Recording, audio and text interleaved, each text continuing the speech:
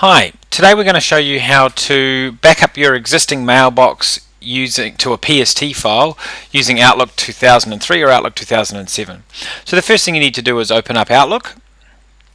Um, once you've got Outlook open and you you'll see the obviously your normal Outlook interface, what you need to do is select the either your mailbox which will be listed at the top here or it will be it will say personal folders depending on the configuration of your Outlook. Um, you then need to click on File and go to Import and Export and you need to select that you want to export to a file. So we select export to a file and click next.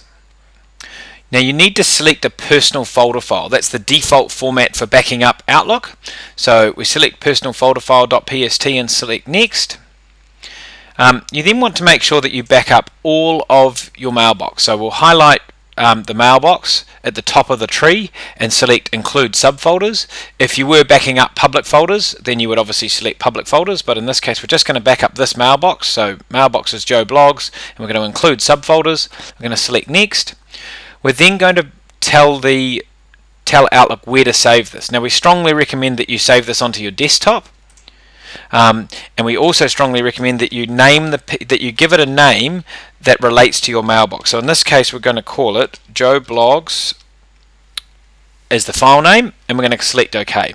So what that's going to do is that's going to save it on, on my desktop called joebloggs.pst. Um, these options you can leave as default because in most cases you're going to be creating a new PST file. If you are updating an existing PST file then you need to select whether you want to replace duplicates or, or allow duplicates to be created. So we're now going to select finish and then select OK. If you want to put a password on your PST file, then do so. Obviously, you just need to remember that you need to record that safely somewhere because if you ever want to access that, then you'll need to know what that password is. So in this case, we're just going to leave the defaults and select OK. And what you'll notice is that this will, in a couple of seconds, start the export process to back up a PST file. In fact, in this case it was so quick it didn't even show up. And what you can now see is that on my desktop I've now got a PST file which includes which is a backup of my um, of my Outlook. Now we're doing this on a on a mailbox that's got very little information which is why it was so quick. But the next thing we need to do is just to test that that PST file has all the data that you would expect in it. So what we can now do is go file open Outlook data file. Then we can go to the desktop and we can highlight the file that you just used to do the backup. So in this case, joebloggs.pst. Go OK. That will come up under here saying in the in your view in Outlook saying personal folders, and you just need to check your inbox and make and compare that to your normal inbox and make sure that that's backed up. Um, you need to go and check your sent items, and if you've got lots of sent items, then we strongly recommend that you highlight sent items and look down on the bottom to confirm how many sent items you've got and then compare that to the um, to sent items in the um, in the PST file.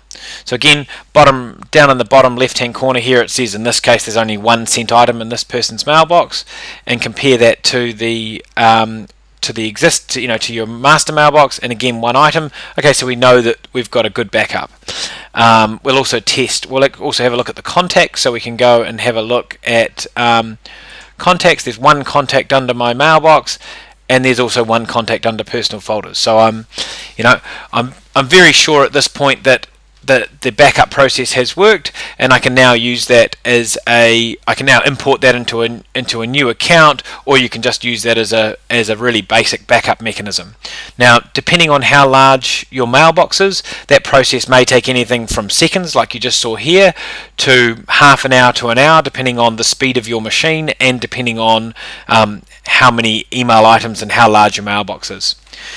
Thanks very much for watching this presentation.